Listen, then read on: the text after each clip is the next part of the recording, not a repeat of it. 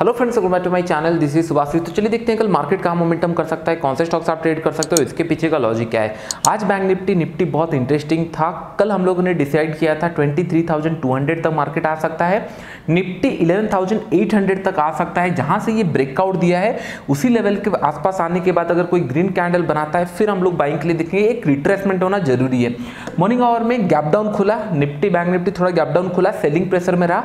230 के बाद एक कंटिन्यूसली शार्प अप मूव आया तब तक हम लोगों का काम हो चुका था, जो हम लोगों ने कॉल भी सेल किया था, उसका भी एक वन टू का प्रॉफिट हो चुका था, जो मैंने आप लोगों को टेलीग्राम में शेयर किया था, जो स्टॉक्स भी मैंने दिया था, जो बाइंग के लिए दिया था, वो भी बहुत अच्छा चला था, थोड़ा गैप अप खुल गया, लेकिन बहुत अच्छा चला। बीपीसीएल हो गया, ये दूसरा स्टॉक जो सेलिंग के लिए था, वो भी अच्छा चला था। अभी हम लोग देखते हैं 15 मिनट चार्ट में कल मार्केट कैसे मोमेंटम कर सकता है, कल एक्सपायरी है। पहला पॉइंट अगर डेली चार्ट देखेंगे, जिस तरीके से हम लोग सिनारियो ढूंढ रहे थे, एक रिट्रेसमेंट होना ज़रूरी है, फिर उसके बाद अगर कहीं पे ग्रीन कैंडल बनाता है 23,200 के आसपास ये लेवल था निफ्टी 11,800 के आसपास अगर कोई ग्रीन कैंडल बनाता है इट्स ए बाइंग साइन अगर हम लोग डेली चार्ट में बैंक निफ्टी देखेंगे no doubt it's a buying sign 23,200 हो गया या फिर निफ्टी 11,800 के आसपास अगर ग्रीन कैंडल कुछ बनाएगा हम लोग बाइंग के लिए देख सकते थे। परफेक्ट लेवल पे ग्रीन कैंडल बनाया है लेकिन कल एक्सपायरी डे है। इट्स मोस्ट इंपॉर्टेंट क्योंकि एक्सपायरी डे पे क्या होता है बार बार मैं आपको बताता हूँ।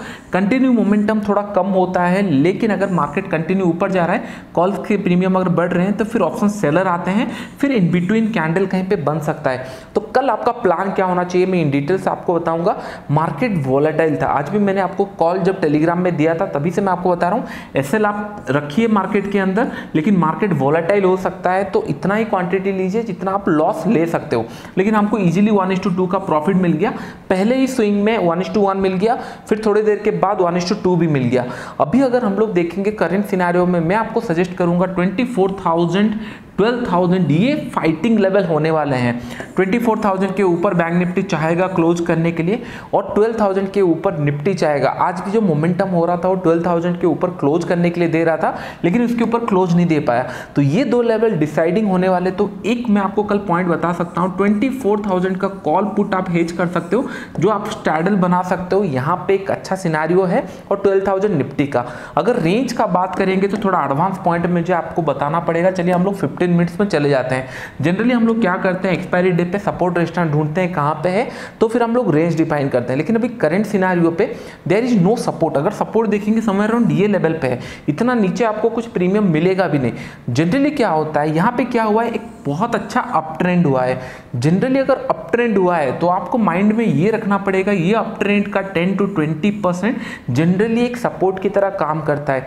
आप जाके डेली चार्ट्स में भी देखोगे निफ्टी बैंक निफ्टी मोमेंटम हुआ कंटिन्यू पूरा उसका सपोर्ट जो रहेगा वो 10 टू 20 परसेंट जनरली रहता है। तो हम लोग एक्सपेक्ट कर सकते हैं 23,700 से लेकर 24,100 लेवल तक मार्केट रह सकता है। ये 400 के अंदर लेवल रहेगा या फिर 24,000 का आप स्टैडल भी बना सकते हो। ये दो ऑप्शन आपके पास है। तब जब मार्केट फ्लैट खुले या फिर गैप अप खुले ये दो केस में आप ये सारी चीज़ें प्लान कर सकते हो। Twenty twenty three seven hundred से लेकर ट्वेंटी फोर वन हंड्रेड तक का रेंज हो सकता है। स्टिल अगर कुछ कल मॉर्निंग में गैप अप या गैप डाउन खुलता है, कुछ पॉइंट्स बताना होगा तो मैं बताऊँगा। कुछ ट्रेड अगर अच्छे दिखेंगे रिक्स टू रिवॉर्ड अच्छा होगा तो ही मैं टेलीग्राम में दूँगा और उसका लिंक डिस्क्रिप्शन बॉक्स में है। देखिए, आज मैंने आपको क्यों दिया था? चलिए मैं आपको वन मिनट चार्ट में बताता हूँ। कौन से सिनारियो में मैंने आपको सेल करने के लिए दिया था? तो अभी हम लोग वन मिनट चार्ट में बैंक निफ्टी का आ चुके हैं। मैंने आपको कॉल शॉर्ट करने के लिए दिया था। कौन से पॉइंट पे दिया था मैं बताऊँगा। जितने लोग कल का वीडियो एनालिसिस नहीं देखे हैं, वो वीडियो पहले देख लीजिए तो ही ये कॉन्सेप्ट समझ में आएगा। कल मैंने आपको बताया था, पहले अगर डाउन साइड प्रेशर आता है फ़र्स्ट स्विंग, जो फ़र्स्ट रिट्रेसमेंट होता है, वहाँ पे कभी बाइंग नहीं होता। वो जनरली सेलिंग के लिए आ जाता है। कल हम लोगों ने सिमिलर चीज़ें किया था, लेकिन वो थोड़ा देर जाने के बाद एसेलेट किया था। सेम, एक बड़ा मोमेंटम नीचे की तरफ़ हुआ फ़र्स्ट मोमेंटम में बाइंग जनरली नहीं होता, फिर ये आ गया नीचे की तरफ़, फिर ये प्राइस सेक्शन बना के नीचे आया समय अराउंड डीए लेवल पे मैंने आपको दिया था। शॉर्ट करने के लिए स्टॉप लॉस आपका 308 का था और 265 या 270 सेवेंटी थर्टी रुपीज़ का स्टॉप लॉस था। ये पहले ही कैंडल में आपको वन टू वन मिल गया। आई गेस अभी आपको समझ में आ रहा होगा, ये देने के लिए इसीलिए रीजन था कल मार्केट साइडवे जाने के बाद एक अपसाइड मोमेंटम हुआ उससे पहले ही हम लोग निकाल दिए थे। आज लेकिन मार्केट बहुत अच्छे तरीके से चला। अगर हम लोग आगे जाके देखेंगे तो ये बहुत अच्छे तरीके से नीचे की तरफ़ ब्रेकडाउन हुआ था। ये पॉइंट पे नीचे आया था जहाँ पे हम लोग का 23,200 का लेवल जो टारगेट था बैंक निफ्टी का वो भी अचीव हो गया था। कॉल जो भी हम लोगों ने शॉर्ट किया था उसका भी टारगेट अचीव हो गया था। गेस ये सारे पॉइंट आपको समझ में आ रहे होंगे। कल अगर बैंक निफ्टी गैप डाउन खुल जाता है 23,800 के नीचे तो 23,900, 24 ये इमीडिएट रेजिस्टेंस बन जाएँगे। ये ज़्यादा प्रेफर होना चाहिए। 23,700 से लेकर 24,100 आपका तभी रेंज होगा जब मार्केट फ्लैट या थोड़ा सा ऊपर गैप अप खुलेगा। 200-300 पॉइंट अगर गैप अप खुल गया देन इमीडिएटली एक रिट्रेसमेंट आएगा सेलिंग आएगा। नो डाउट बाइंग का प्रेशर है गैप अप खुल सकता है लेकिन गैप अप अगर टू ट्वेंटी के ऊपर ऐसे लेवल पे खुलता है तो इमीडिएटली फिर ये 24 लेवल तक आ जाएगा 24,000 ये सारे पॉइंट ध्यान में रखो कल ओपनिंग कहाँ पे होता है ये इंपॉर्टेंट है। फ्लैट खुला तो ईजी हो जाएगा। गैप अप गैप डाउन खुला तो कुछ पॉइंट्स में आपको बताऊँगा स्टिल आप प्राइस एक्शन देख के ट्रेड कर सकते हो। अगर बहुत बड़ा गैप अप गैप डाउन खुल रहा है। अगर 24,000 के आसपास गैप अप खुल गया तो वो लेवल आप स्ट्रैडल बना के रख सकते हो क्योंकि स्टिल 200-200 पॉइंट का रेंज मिल सकता है क्योंकि प्रीमियम बहुत अच्छे हैं। तो कल जो मेरा निफ्टी का लेवल रहेगा 11,950 से लेकर 12,050 ये लेवल हो सकता है 12,050 या 11,950 ये लेवल के अंदर 100 पॉइंट्स के अंदर कहीं पे क्लोज हो सकता है लेकिन स्टिल इंपॉर्टेंट कहाँ पे होगा मार्केट कल कहाँ पे ओपन होता है। अगर हम लोग 15 मिनट चार्ट्स में देखेंगे तो आपको पता चलेगा ये कंटिन्यू मोमेंटम हुआ है तो 11,950 एक सपोर्ट की तरह काम कर सकता है क्योंकि ये मोमेंटम का 10 टू 20 परसेंट इलेवन या इलेवन सपोर्ट की तरह काम कर सकता है।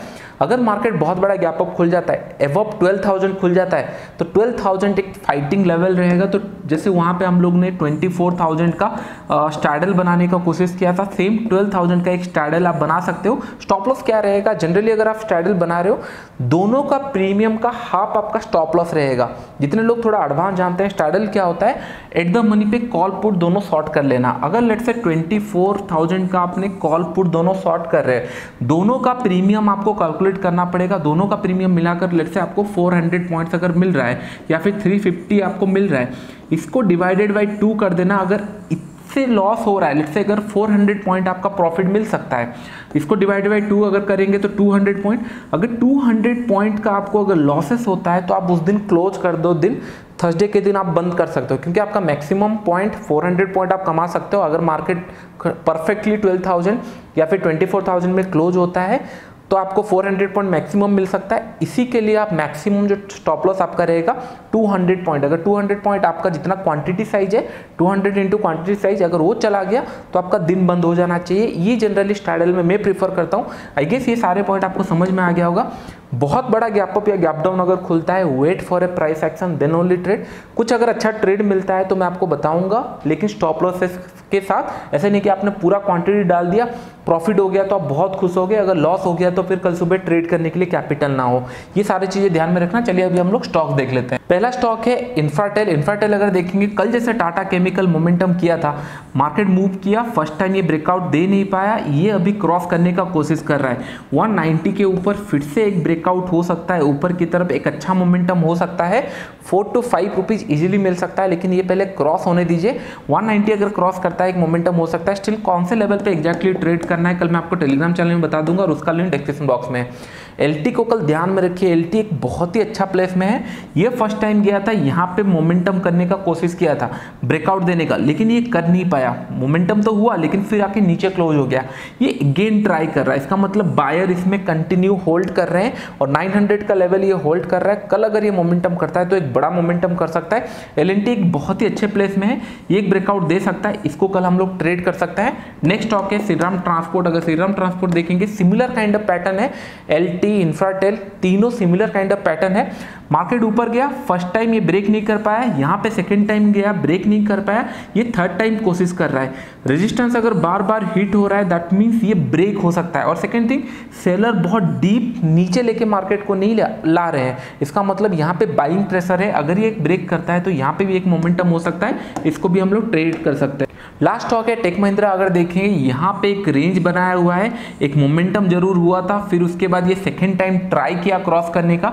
लेकिन अभी ये फिर नीचे आ रहा है। 840 अगर ये क्रॉस करता है लास्ट स्विंग यहाँ पे अगर देखेंगे 830 के आसपास है। जो लास्ट प्रीवियस स्विंग इसने ब्रेक किया था तो मार्केट इसी लेवल के आसपास आ सकता है 830 से लेकर 825 लेवल तक भी इंट्राडे में आ सकता है। इसको भी कल हम लोग ट्रेड कर सकते हैं, एक अच्छे लेवल पे। लेकिन पहले 846 या 847 को ब्रेक करने दीजिए, फिर एक ब्रेकडाउन नीचे की तरफ़ हो सकता है। आई होप आपको वीडियो अच्छा लगा होगा। अच्छा लगा तो वीडियो को लाइक एंड शेयर करना फ्रेंड्स अभी के लिए इतना ही। Thank you